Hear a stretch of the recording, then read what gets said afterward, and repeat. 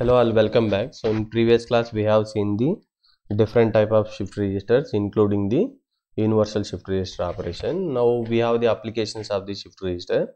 One of the application of the shift register is the shift register counter. So what is the one of the application of the shift register is the shift register counter. If you see that in previous classes right so by using of the shift register we are going to store the multi-bit information or if required we are shifting the value from one flip flop to the another flip flop so that we are getting the final value right? But now if we see that what is the meaning of counter means suppose 0 0 0 1 1 0 1 1 right? For the first clock pulse count will change from 0 to 1 then 1 to 2 2 to 3 let it be count is something 0 1 2 3 what is the counter? Once count is completed it should return back to the initial position right? So it is written back to the initial position. Now if we see that after finding the fourth output it is not going to connect it to the initial position right? So it is not the shift register counter. So whatever we have done so far just we are storing the value inside of the flip flop then we are moving the one value to the and i mean one flip flop to the another flip flop. But if you connected something output to the input nothing but 3 to again initial value then it is called as the counter operation right? So this is what exactly we are going to do here right? One of the application of the shift register is the shift register counter right? So in which output are connected back to the inputs in order to produce the particular sequence right? So it means that something like this. The final output of the flip flop will be connected to the input value then this called as the shift register counters. Again we have the two classifications. One is the ring counter another one is the johnson counter or twisted ring counter or switch rail counter. This is the most important question right? Most of the time they have they have asked in the university exam right? So how to draw the so they will ask to design the ring counter circuit diagram or johnson counter circuit diagram right? Simple thing. If you have the multiple flip flop then if you are shifting the value then it is called as the shift register. If somehow the output is connected to the input so it means that again it will it is coming back to the initial position then it is called as the shifting plus storing as well as the counting. This is what we call as the shift register counting. Output is connected to the input then it is called as the counter. So finally it is called as the shift register counters. We have the two types. One is called as the ring counter operation. Another one is called as the johnson counter operation. We will see what is the meaning of the ring counter operation as well as the johnson counter operation. The question is something like this. Design 4 bit ring counter using D flip flop operation something like this question. Right? Now see that a ring counter is basically a shift register counter in which the output of the first flip flop is connected to the next flip flop and so on. So something like this. Right? So once it is done the output of the last flip flop is again feedback to the input of the first flip flop. Thus the name is the ring counter. The data pattern within the shift register will circulate as long as the clock pulse are applied. We'll see what is the meaning of the ring counter then how to perform the ring counter operation right? So what is the given question? We need to design the 4 bit ring counter by using what? D flip flop right? So for that i'm going to consider in the 4 flip flop one then one more is the second one then third one then finally fourth one right? Let it we will consider the d flip flop only. This is da this will be our db dc dd so what is the output value? Qa qb qc qd right? So common clock pulse should be applied right? Then only it is the synchronization operation right? So common clock pulse will be applied to the all the flip flops. Right? Now common clock pulse is applied here. Now see that this is the first flip flop data in right? So this is connected to this one right? This is connected to this one right? Why? Because we need to shift the data from the one flip flop to the another flip flop right now try to identify whether it is the shift register or shift register counter. Yes the answer is this is the shift register. So what do you mean by shift register counter? Something like this 0 0 0 1 1 0 once count is completed 1 1 something what should be done? It should be connected to the initial position right? If you see that 0 0 let it be 0 1 1 0 1 1 once count is completed it should be connected to the input right? Then only it is called as the counter right? So it means that once count is completed from this one to this one this one to this one again it will return back to the initial position. So what is the meaning of ring counter means? Like ring operation. So the output should be connected to the input then it is called as the ring counter right? Now we'll see what is the operation of the ring counter. So first let me take some data. Let it be this is the first flip flop.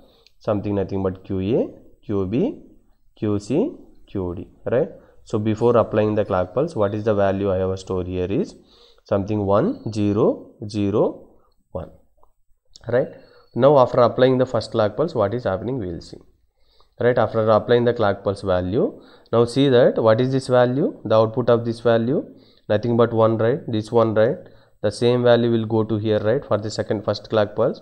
Now it will come to 1 right? It means that if first value is something 1001 after applying the first clock pulse. Now what will be happen? This output is connected to the input right? What is the current value of this one 1 right? 1 it will go to here right? It means that 1 will go inside of the first flip flop now already here we have the 1 right? It should be go to the second flip flop right? Now this value will go to the second flip flop this 0 will go to the third flip flop this one will go to here. Now what is the value of current value of the flip flop 1 something like this. Here i'm going to write 1 second flip flop is 1 again third flip flop is 1 right? So fourth flip flop is something 1 fine. Here i have made a mistake right? So if your initial data is 1001 right? So this value is 1 right? It will go to here. So this will be replaced this one. It means that 1 will come to here the ring counting operation. This one will go to here. This 0 will come. This 0 will come. So what is the now data? Double one double zero right? Now what is the data here? Something like this double one double zero. Now what is this current value? Last flip flop output 0 right? Where 0 will go? Again it will go to the input right? Because output is connected to the input right? Now here this value will be 0 already this 1 will go to here right? It means that 1 again this 1 will go to here. Something like this 1 then we will be getting the output as the 0 something like this after applying the one more clock pulse what is the now current value of the flip flop which is stored here? 0 1 1 0 right? Now this value will go to here right? Now this value will go to here this value will go to here this value will go to here. This is how it is going to perform. After applying the fourth clock pulse value now this one will come to here right? So 1 this 0 will go to here this 0 will go to here this one will go to here. So after fourth clock pulse only you will be getting the again one more data means you are returning back to the same clock pulse value simple thing.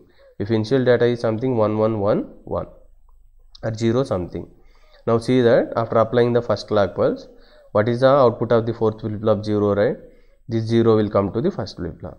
This will go to here this will go to here this will go to here. After applying the one more clock pulse now this will go to the first. So 1 this will go to here 0 then 1 1 after applying the one more clock pulse 1 1 0 1 something. So always this output of this value will come to the first flip flop. Then these values will be shifted. So this is the operation of the ring counting operation something like this. If you have this one it is performing the ring operation. Right?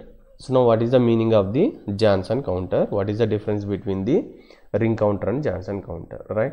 So here it is not required for you that reset operation right? Just you take the clock pulse you take the four flip flop. Something like this DA DB DC DD output values are something QA QB one more is QC another one is the QD right? So if you see that we have the two outputs right? One is QA bar another one is the QB bar another one is QC bar another one is the QD bar.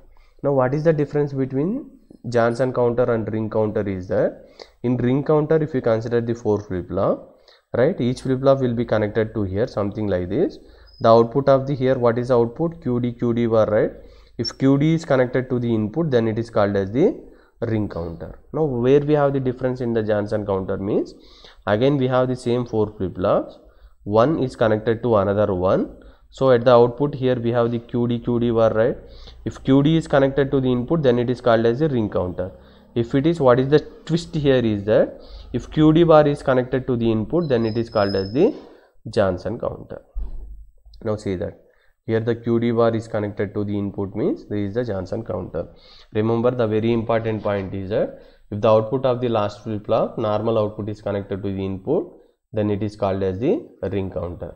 If complement is connected to this one, then it is called as the Johnson counter. Now we will see that operation. Let it be initial value is something something what is the initial value consider? 0 0 0 0 right? Initial value. After applying the first clock pulse what will be happen? Try to guess.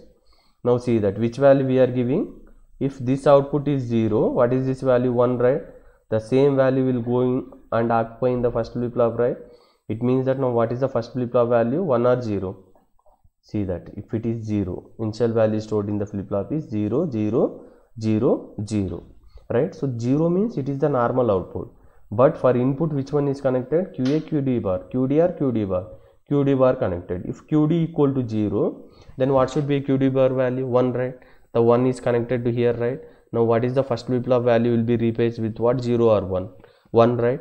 It means that first flip flop value will be 1 this value will go to here 0 this value will go to here 0 this value will go to here 0 right? So now what is the current value here? 0 right?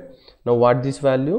Qd qd bar means what? Again 1 so this 1 will go to here. Now what is the value will be getting? 1 1 0 0 it means that always this complement value will go to here. So 1 1 0 right? So this one is 1 this one is 1 here 1 here value will be 0 again this complement value go to here 0 1 1 0 again this complement value sorry this value will be 1 right? Again this complement value will go to here so that you will be finding the four ones something like this. So see that initial count is 0 0 right? Now see that what is the final value? Qd value equal to 0 qd bar means what? 1 right? So this is connected to the input right? So this value will be 0 bar means it is 1 next value shifted here shifted here shifted here. So after applying the one more clock pulse this is 0 right? Complementary value is what? 1 so this is 1 means this value will go to here 0 will go to here. So again this 0 means here you will be getting the 1 1 1 0 so for the next clock pulse this will come to here right? 1 1 1 1 so next observe here why here we have the 0 means? What is this value? Fourth flip flop qd right so what is required? Qd bar right? If qd equal to 1 means qd bar equal to what? 0 right? So this is the connected to here right? So it means that this complement value will come to here. That is nothing but 0 this value is 1 this value is 1 this value is 1 again this value complement 1 means 0 this value this value this value. Again complement of 1 means 0 this value this value this value. Right? Again if you perform this one you will be finding the output something 0 0 0 0 how many clock pulse 1 2 3 4 5 6 7 8 clock pulses. For 8 clock pulse you will be finding the repetition. In case of what? Johnson counter. In case of ring counter if you see that only for fourth clock pulse 4 clock pulse you will be getting the repetition counter. So depends upon our requirement. Some cases we are using the ring counter. Some cases we are using the Johnson counter. But most important point to remember is if the output of QD is connected to the input then it is called as the ring counter. If output of the QD bar is connected to the input then it is called as the Johnson counter. Right so operation is pretty easy. Just you pass the value then you just connect the output to the first flip flop and shift the value from one flip flop to the another flip flop so that we can write the operation for the either ring counter or Johnson counter. Right? Thank you